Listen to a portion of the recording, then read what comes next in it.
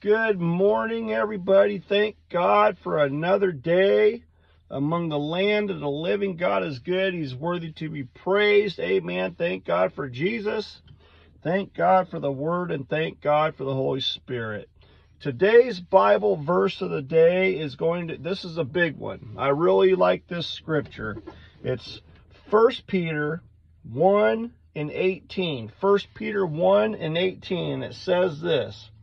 For as much as you know that you were not redeemed with corruptible things, as silver and gold, from your vain conversation received by tradition from your fathers, but, but with the precious blood of Christ, as of a lamb without blemish and without spot. So that's actually 1 and 18 in 19. It's two verses, but one in 18 and 19 of First Peter says this. Let me read it again.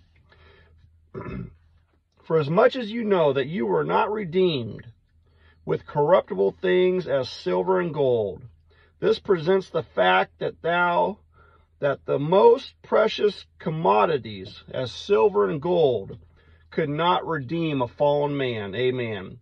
So you were not redeemed with corruptible things as silver and gold from your vain conversation received by tradition of your fathers, but with the precious blood of Christ, as of a lamb without blemish and without spot. You were redeemed by the blood of the Lamb. Amen.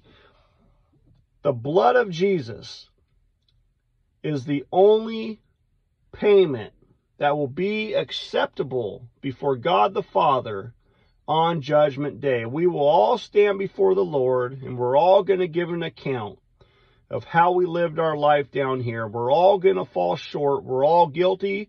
Doesn't matter if you've broken the moral law, the Ten Commandments one time. If you've broken one, you're guilty of all. So we're all going to fall short. And there's none righteous, no one, not one. But thank God for the precious blood of Jesus. 6 and 23 of Romans says the wages of sin is death. So the wages we've earned as sinners is death. But the gift of God is eternal life through our Lord and Savior Jesus Christ. We've been redeemed by the blood of the Lamb. It's the only payment that will be accepted before God the Father on judgment day. And we all will stand before the Lord.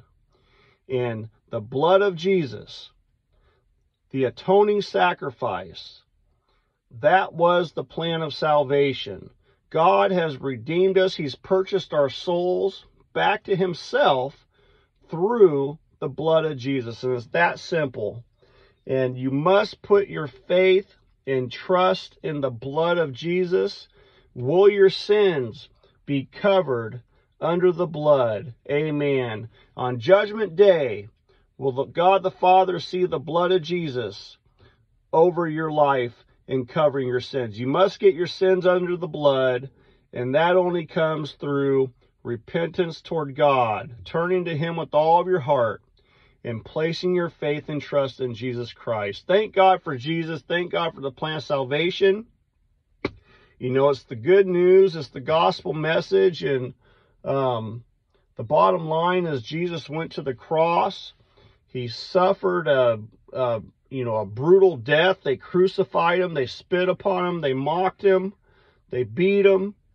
And he did that. What he did at the cross is he took the wrath that we deserve as sinners and he took it upon himself so we wouldn't have to go through that. And we don't have to serve that death sentence anymore because of the blood of Jesus. Amen. It's all about what Jesus did for us at the cross. He died. He was crucified. He died. And he, he was buried and he rose again the third day. He said three words before he gave up the ghost. He said, It is finished, meaning that the debt has been paid in full and he paid it with his precious blood. You can't pay it with gold with silver, with good works. You can't pay it with anything. There's only one payment that's accepted before God the Father, and that's the blood of his son Jesus. Amen. So thank God for the blood of Jesus. We've been redeemed. We've been purchased back to God with the blood of Jesus. And there's only one way you can be saved, and that's through turning to God and putting your faith in Jesus. Why? Because he is the Savior of the world, and he died for the sins of all mankind, and he purchased our souls back to himself with his precious blood. Amen. So thank God for the blood of Jesus. You know, there's no other name under heaven given among men whereby we must be saved. Jesus said, I am the way, the truth, and the life. No man comes to the Father but by me. Every knee shall bow and every tongue will confess that Jesus Christ is Lord. So bow the knee now and and gain the gift of eternal life because whether you bow it now or later, you're still going to bow it. You can bow it now and receive eternal life and eternal glory, or you can reject him. You're still going to bow it later. But instead of instead of gaining eternal life, you're going to go to hell for all eternity. And no man wants I don't want that for anybody.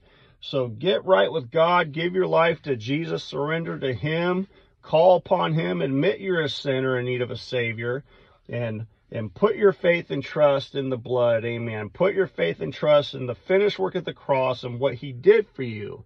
And be born again, gain the gift of eternal life and just what a blessing it is because of what Jesus did for us. So God bless you all. Have a wonderful day. Love God with all your heart and love your neighbor as yourself. Amen. Let your light shine before men that they may see your good works and glorify your Father which is in heaven. Have a wonderful day. God bless.